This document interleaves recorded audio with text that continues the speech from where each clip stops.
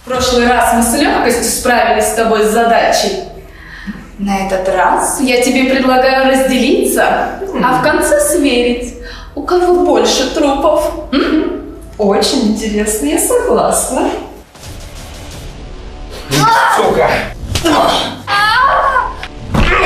Нравится тебе?